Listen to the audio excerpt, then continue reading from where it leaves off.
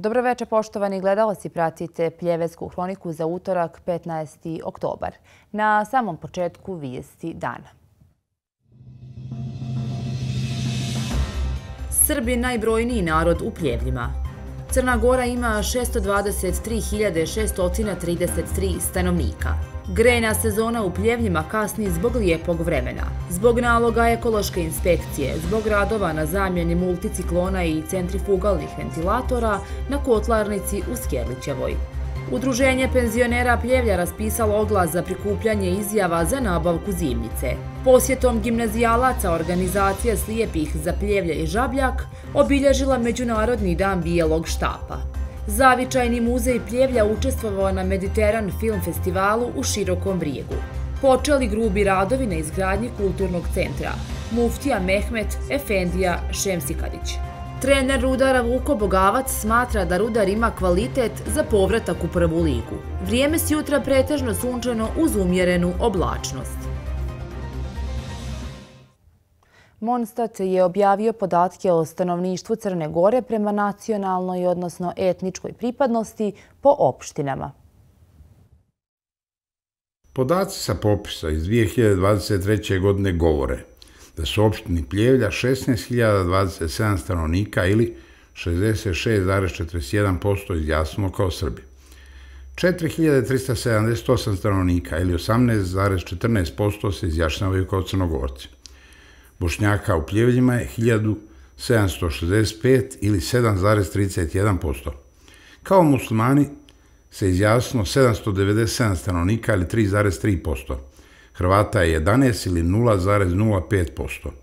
Jugoslovena opštini Pljevlja je 37 ili 0,11%.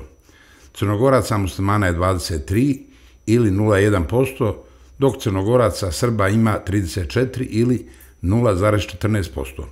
Muslimana Crnogoraca je 38 ili 0,16%. Roma je 50 ili 0,21%. 99 građana se izjašnjava kao Srbi Crnogorci, što je 0,41%.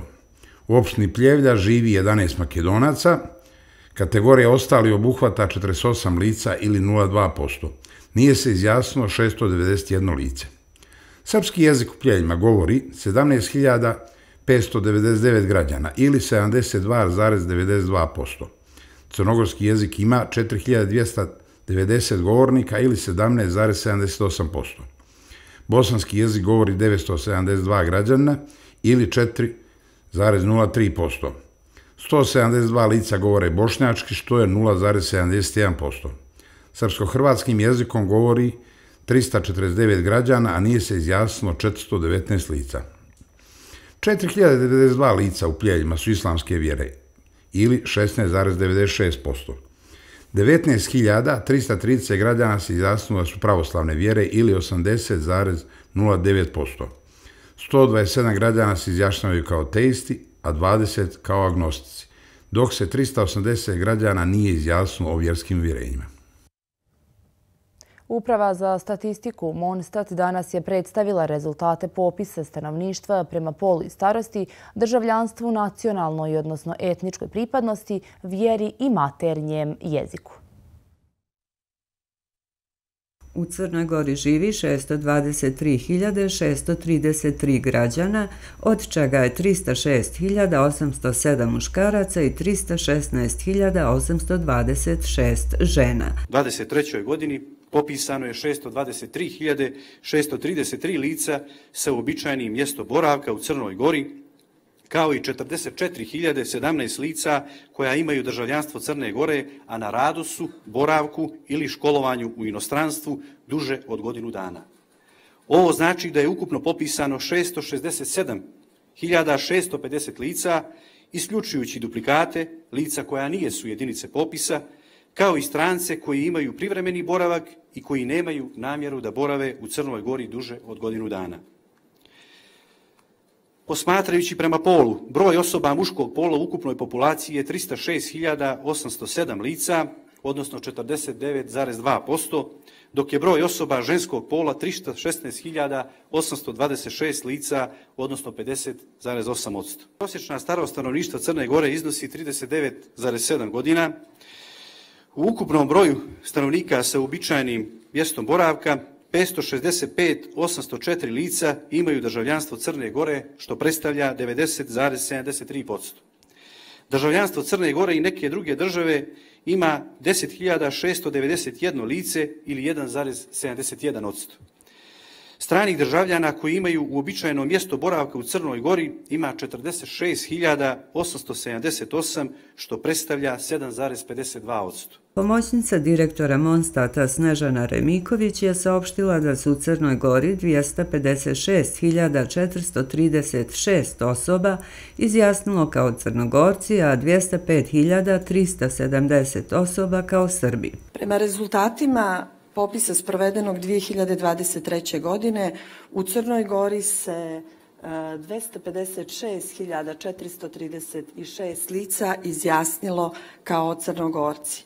205 ili 3.370 lica ili 32,93% kao Srbi, 58.956 ili 9,45 kao Bošnjaci, 30.978 ili 4,97 kao Albanci, 12.824 ili 2,06% kao Rusi, dok se 10.162 lica ili 1,63% lica izjasnilo kao muslimani. Srnogorskim jezikom govori 36,23 od 100 građana, srpskim 43,52 od 100. 71,1 od 100 stanovnika izjasnilo je da je pravoslavne vjere 19,90 99% islamske, 3,27 katoličke, dok je 2,29% ateista.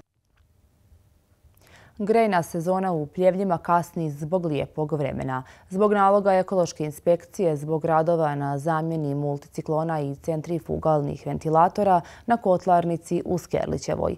Izgrijanja su tražili dodatno vrijeme od inspekcije i ministarstva kako bi sanirali ove probleme, a kako je kazao direktor preduzeća Tošić, nadaju se da će im iz ovih institucija izaći u susret. Grejna sezona inače počinje 1. oktobra ukoliko vremenske prilike prate kalendar, mada je prethodnih godina upravo lijepo i toplo vrijeme razlog što se kasnije počinje sa grejnom sezonom. Međutim... Mi, kao što znate, imamo zabranu od upravi za inspekcijske poslove.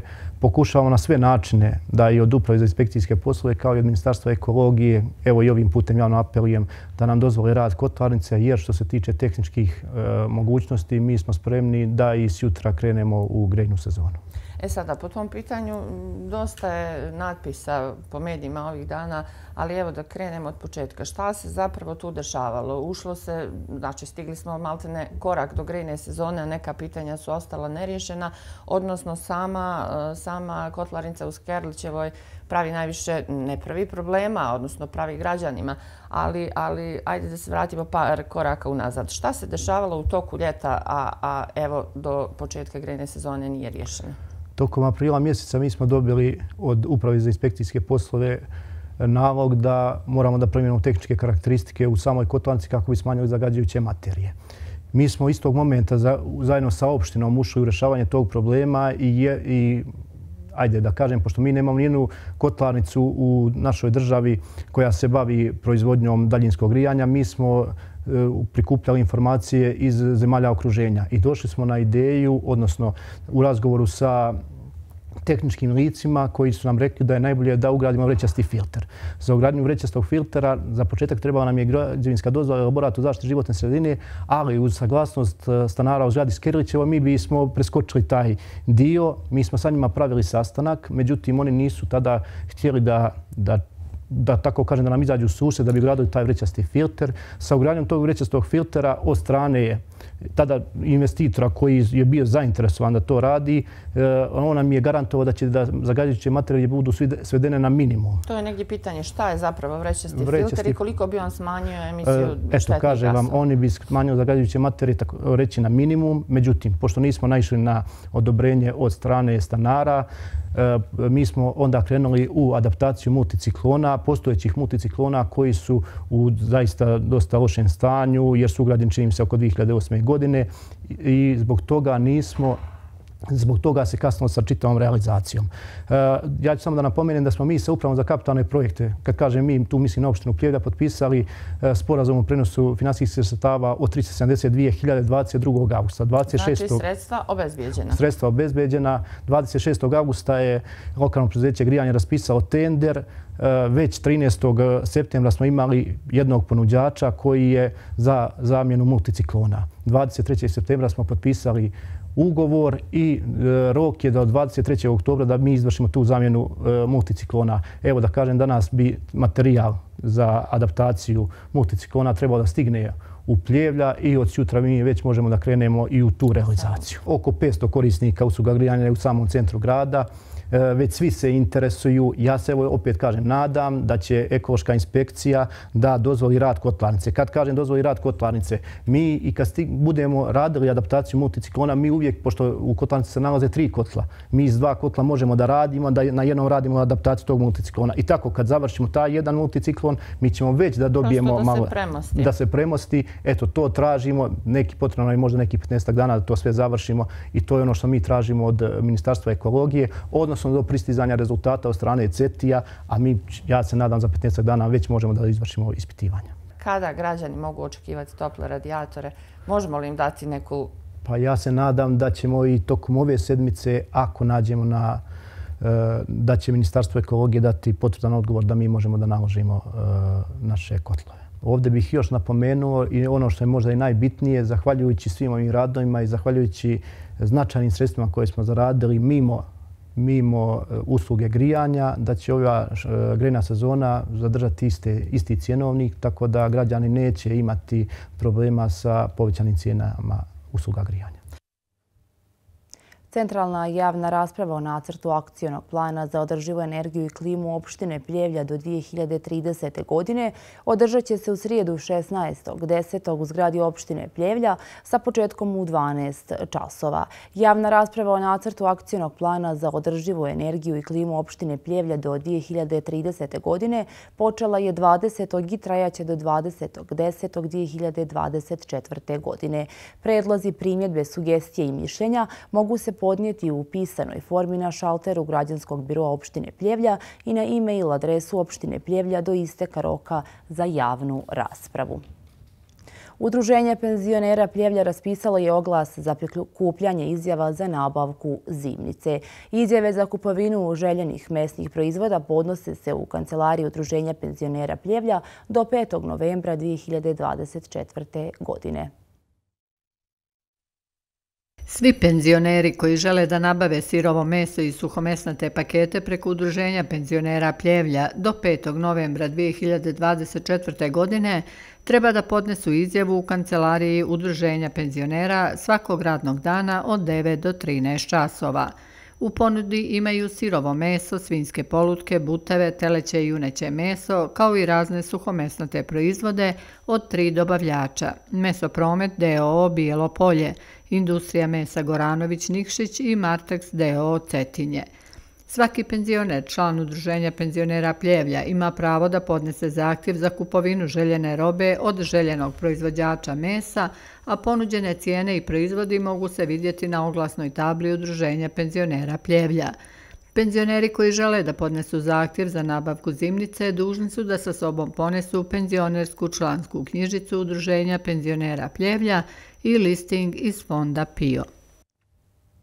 15. oktobra širom svijeta obilježava se Međunarodni dan bijelog štapa. Dan posvećen podizanju svijesti o pravima, potrebama i izazovima sa kojima se suočavaju osobe oštećenog vida. Tim povodom članovi organizacije slijepih za opštine Pljevlja i Žabljak ugostili su učenike gimnazije Tanasije Pejatović. Susret bio je prilika da se mladi bliže upoznaju sa svakodnevnim životom slijepih i slabovidih osoba, ali i načinima pružanja podrške.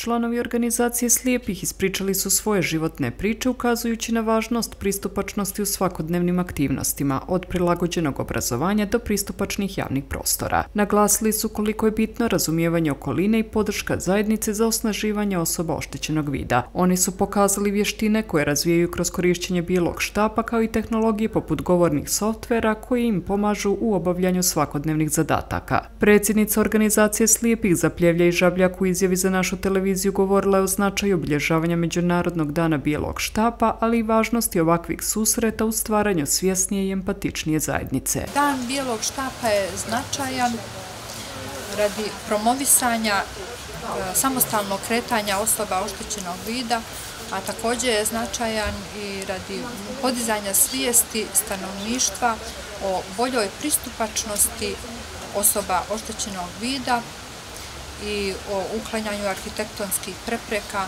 stvaranja novih mogućnosti kao što su staze vodilje i ostalo.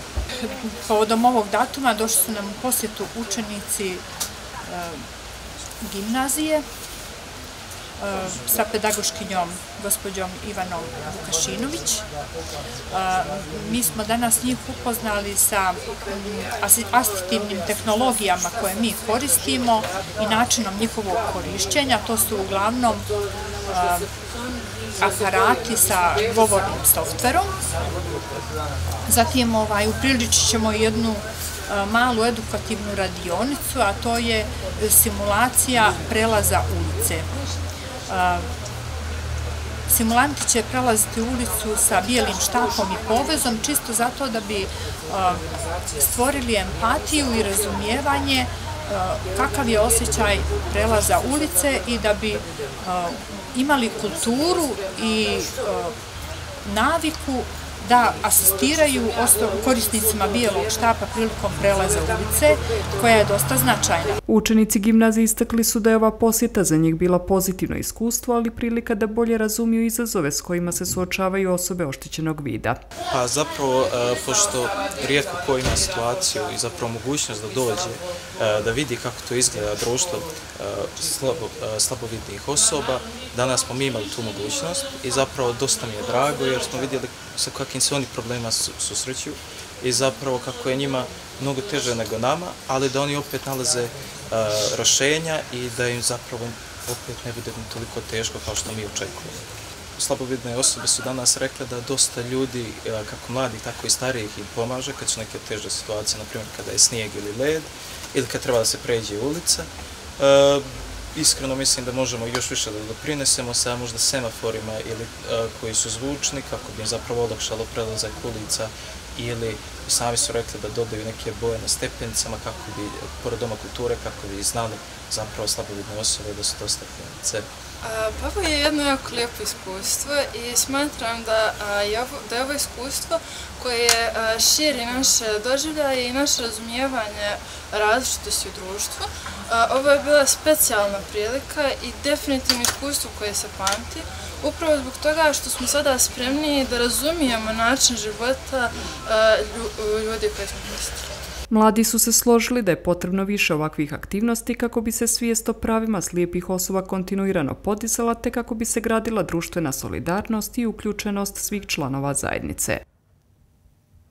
Zavičajni muzej Pljevlja učestvovao je na Mediteran Film Festivalu u Širokom brijegu. Ovo je bila prilika da se široj publici predstavi bogatstvo kulturnog nasleđa Pljevalja.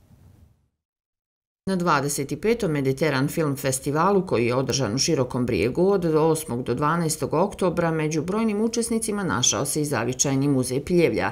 Poziv je stigao od strane direktora festivala Tomislava Topića po preporuci direktorice Zavoda za zaštitu kulturno-istorijske baštine, gospođe Maje Soldo. Mediteran Film Festival je festival dokumentarnog filma i jedan od najznačajnijih filmskih događaja u Bosni i Hercegovini i regionu. Okuplja filmske stvaraoce, ljubitelje pružatelja umjetnosti i institucije kulture iz cijelog regiona, a Zavičajni muzej je svojim učešćem doprinio raznovrsnosti i kvalitetu programa. Direktorica Zavičajnog muzeja Dejana Drobnjak je u svom izlaganju predstavila bogatu kulturno-istorijsku prošlost Pljevajskog kraja i sedmodecenijski rad muzeja kao ustanove koja baštini brojna kulturna dobra i znamenitosti. Prezentacijom kratkometražnog filma o stalnoj muzejskoj arheološkoj postavci putevima Homo sapiensa, gledaocima je slikovito prikazan istorijat podneblja sa artefaktima od praistorije do antičkog perioda sa naglaskom na Diatretu, jedno od najvrijednijih pokretnih kulturnih blaga Crne Gore koje posjeduje muzej. Učešće Zavičajnog muzeja na Mediteran Film Festivalu bila je prilika više da se bogatstvo kulturnog nasljeđa ovoga kraja predstavi široj publici. Kako su kazali iz Zavičajnog muzeja i u buduće će nastaviti misiju promocije i predstavljanja pljevalja kroz različite vidove medija.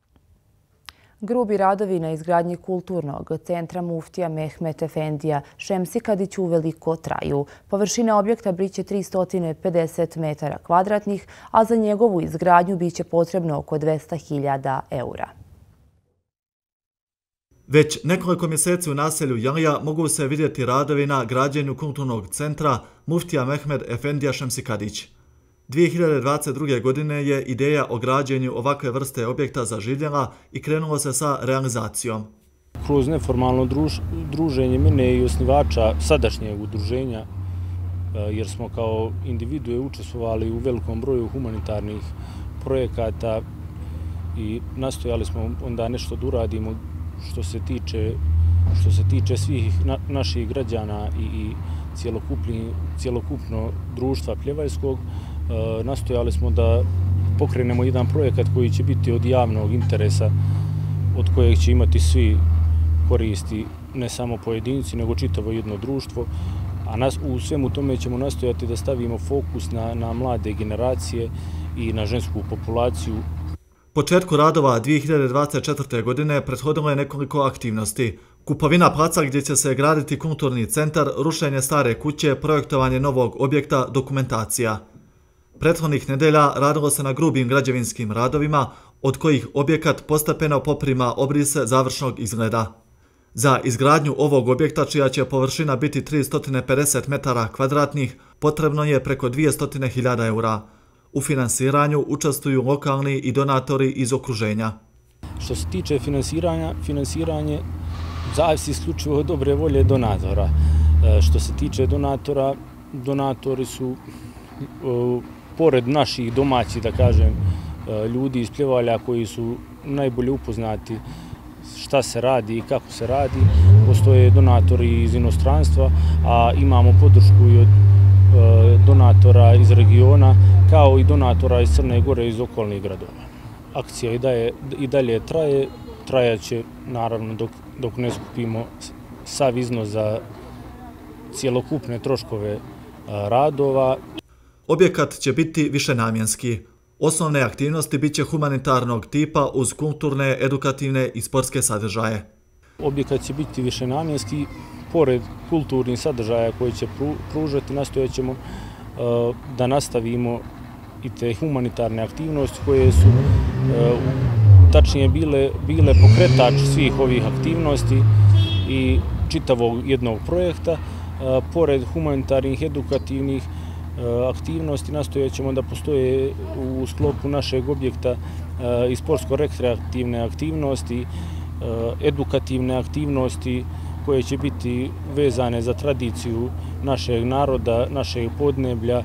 Iz ovog nevladinog udruženja ističu da će objekat biti otvoren za sve ljude i da svi zajedno treba da gradimo bolja pljevlja. Čitava ideja je zasnovana na, na tome da bude objekat od javnog interesa gdje će svi biti dobro došli.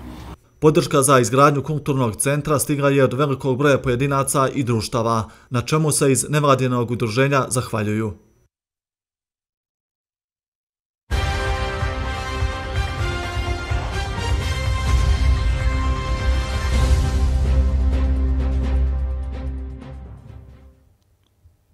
Vuko Bogavac je više od 30 godina bio u Rudaru. Nakon toga, pošto ga se Rudaru u to vrijeme odrekao, trenerski put ga je odveo u Bijelo polje. Tamo je pokazao da je trener koji stvara ekipu i koji je sazrio za velika dijela. Kada je stigao poziv za povratak u Rudar, nije mnogo razmišljao. Oni koji prate pljevarski futbal i oni koji ne moraju da budu nešta puno pućeniji u pljevarske futbalske prilike, znaju koliko Vuku Bogavcu znači rudar. Poziv koji je stigao od predsjednika kluba Miloša Radanovića, Bogavac nije odbio. E sad, e, dobro te poznajući, e, znajući koliko si emotivan e, kao igrač bio, a te kao trener, to, to je već posebna priča, to pokušaš, sakriješ u sebi. Teško su ti padali ti trenuci kad si dolazi ovde, ali pozdravi publike i apluzi publike su ti prijeli? Pa sigurno da je. To znači da, da publika možda nije zaboravila tu jednu godinu, kažem opet još jednom, ne bih da se ponavlja, ali i ovoga puta ću reći još kad je bilo možda i najteže voditi rudar u njegovoj novijoj istoriji, da kažem, sigurno da je bilo u stogodišnjoj, sto i kusur godina istorije i postanka ovog kluba i težih trenutaka, ali kažem u nekoj novijoj istoriji, iskreno ja sam dolazio ovdje sa jedinstvom dvije godine i ono što nisam jednu utakmicu izgubio u pljevnjima. Možda su ti te neke utakmice koje sam vodio jedinstvo i doprinjele da negdje rudar i, i, i ne bude prvoligaš danas, ali kažem, to je bio posao, ja svoj posao radim bilo gdje na najbolji mogući način, onako kako znam i umijem, kažem, ovaj, u rudaru, pored toga, sigurno rekao sam, bit će tu dosta emocija, želimo svi u klubu, od uprave, odnosno presnika kluba, sekretara, igrača i naravno nas u stručnom štabu da napravimo još jedan uspjeh i da vratimo Rudar, kažem ponovo još jednom gdje mu je to mislo. On smatra da Rudar ima dobar igrački kadar i da ostaje isti cilj, a to je povratak u prvu ligu. Kadar je jako dobar za, za ovaj drugoligaški rang takmičenja. Mislim da je možda negdje, ajde da kažemo, mladost koja je trenutno vodeća na tabeli sa pet bodova prednosti u ovom trenutku ispred nas ima tu, kažem, i ne samo bodovnu, nego možda igračku prednost. Međutim, uz jedno iskustvo igrača kao što su Pavlović, kapiten ekipe koji je odigrao ovaj, u nekoliko prvoligaša, zatim Šofranac i Kojašević koji su prijeli reprezentativci, imali inostranu karijeru ovaj, jako dobru uz Miliju Golubovića koji je tu domaći igrač, kaže jedan iskunih, ima i nekoliko mladih igrača i sigurno da je kvalitet ekipe jako dobar. Opširniju priču sa trenerom Rudara Vukom Bogavcem možete pogledati u našem eh, jutarnjem programu.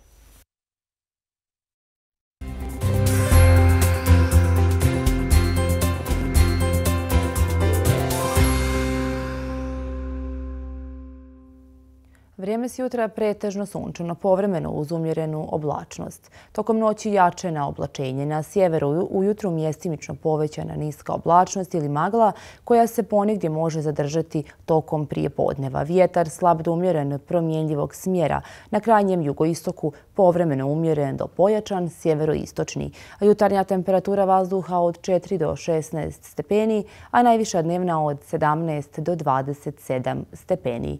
Za kraj hronike još jedna vijesti koje su obilježile dan. Srbi je najbrojniji narod u pljevljima. Crna Gora ima 623.633 stanovnika.